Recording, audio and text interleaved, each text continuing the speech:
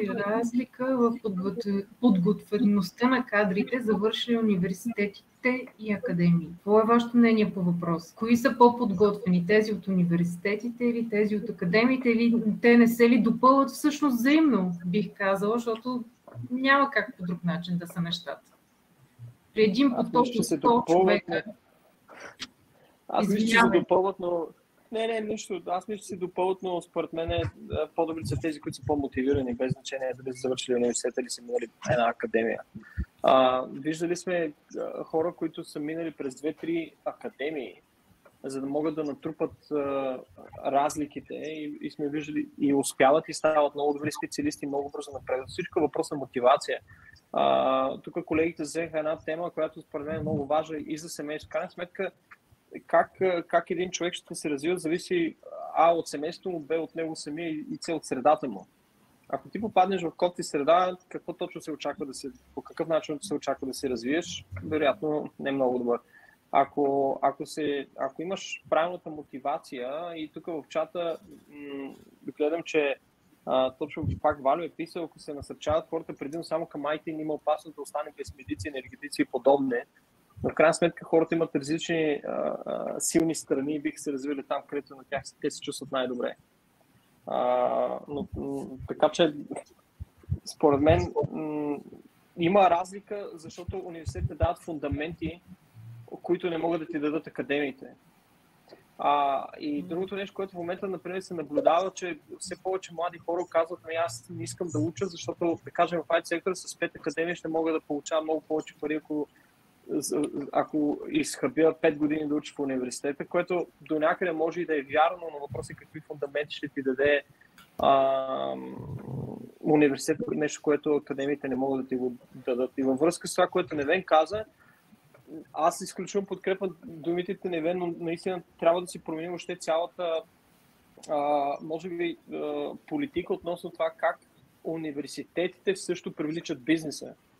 Защото в повечето случаи те трябва да създадат също необходимостта от бизнеса да, да, да, да бъде още по-привлечен да работи с университетите и да създадат съответните политики за това.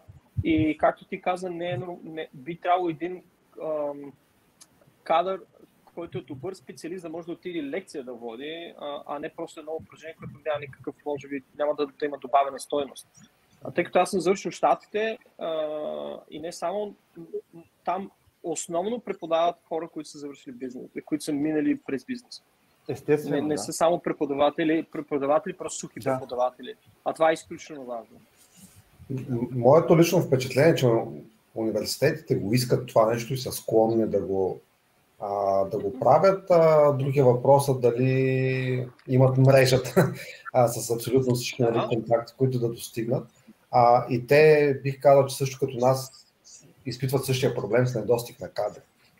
Защото а, нали, се сблъскват с трудности хора, които да останат а, в университета, да правят било то докторантура, да, а, да водят лекции и обучения, защото пък особено в нашата сфера нали, втори курс, като си почнал работа или първи вече, или там, като си завършил училище или както дойде. А, нали, са малко хората, които искат да останат в университет, след това да, да преподават, а, да стоят на по-ниска заплата в университета под една или друга форма, нали, да не вземат заплата, която е. А това е малко по-скоро и като призвание, в смисъл да имаш и вътрешната мотивация да, да го правиш, но а, да, със сигурност няма да затворят вратата на някой, ако иска, а, но могат да бъдат а, а, по-добре така организирани, може би за да достигнат до бизнеса.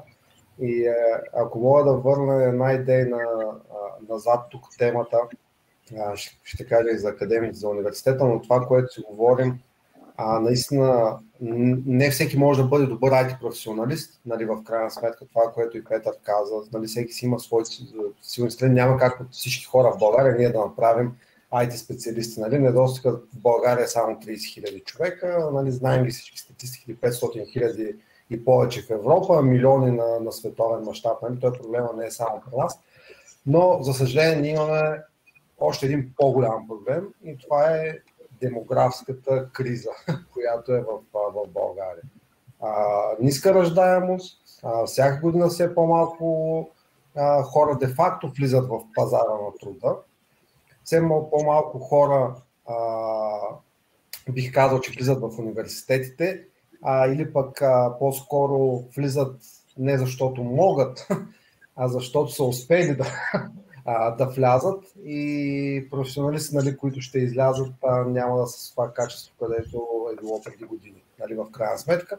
Това е чисто статистически погледнато. Нали, смисъл не е нещо, което а, го стейтвам просто по, по този начин. Няма погледнато с по-малката бройка хора, които се борят за едно място да влязат в топ специалност или в топ училище след 8 клас и така нататък и така нататък, нали, съответно пък по една или друга форма а, хората, които излизат като, а, като кадри в последствие, нали, също по една или друга форма а, оказва влияние това нещо. И другото, нали, на въпроса за академите и университета, а, нали, университета е един по-дълъг дълъг процес а, като цяло. Нормално, нормално е през това време а ти в, в което си в университета, да можеш да натрупаш повече знания, защото той нали, обикновено трае едни 4 години, а не е академия от една-две години. Нали, аз не съм чувал за академия 4 години, която подготвя а, някакви кадри. Но пък от друга гледна точка, нали, ние ги вземаме, нали, всички ние тук визирам, Мусала Сол в частност, а, все, във все по-нисък курс, нали, а, заради а, недостига, кой, който има. Нали, ако преди години а, са започвали работа след четвърти курс, а, после четвърти курс. Аз лично започнах работа трети курс. Сега масово нали, започва втори курс от това, което аз виждам в, в университета. Така че нали, къде е момента, завършилите университет или академия са по-добри, като нали, ти втори курс реално си започнал а, вече да работиш нали, като, като цяло.